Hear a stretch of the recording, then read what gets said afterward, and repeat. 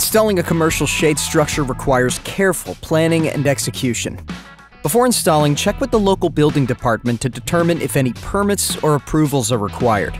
Ensure the area is clear of any obstacles, and use the local 811 service to check for underground utilities. Depending on the shade style, different installation methods may apply. Installation methods and the sequence of steps may be different based on your knowledge, personal preference, and the equipment available to you. In this video, we'll focus on a single, embedded column cantilever umbrella shade structure with our signature glide inserts. Let's get started. Step 1. Dig the footing hole. After preparing the site, dig one footer hole where the column will be installed. The depth and dimensions of the footer hole are noted in the installation packet and are different for each shade. Step 2. Set the column. Place a concrete block at the bottom of the footer hole where the column will be placed. Add rebar to the hole per the installation packet's instructions. Next, place the column on the support block.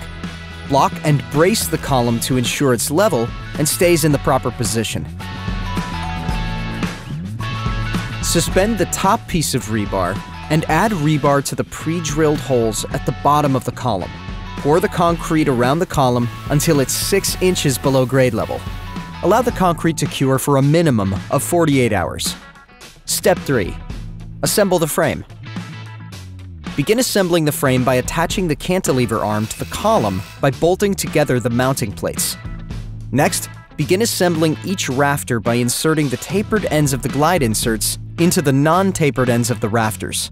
Ensure that the glide insert hook is pointing in the opposite direction of the rafter's welded bracket.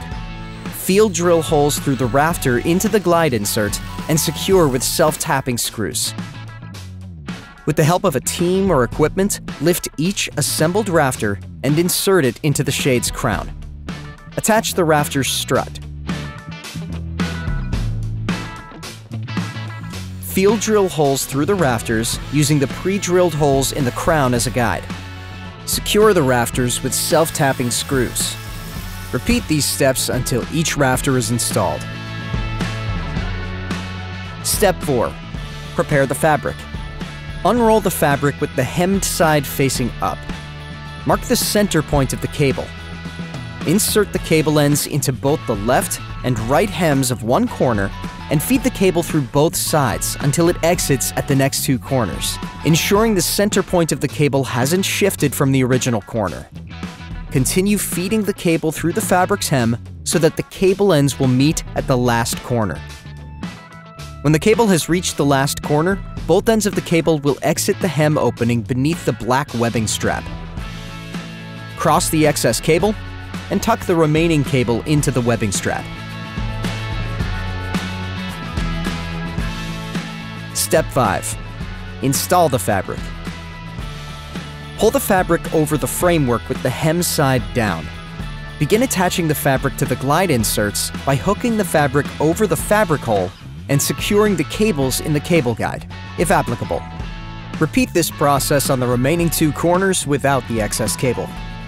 For the corner with the excess cable, hook the fabric hole onto the insert hook, then hook the crossed cables around the cable guide, if applicable.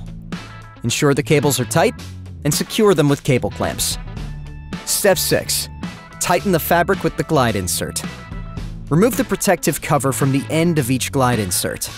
Using a power drill or wrench, tighten all the glide insert's hex nuts to tension the fabric until it's snug.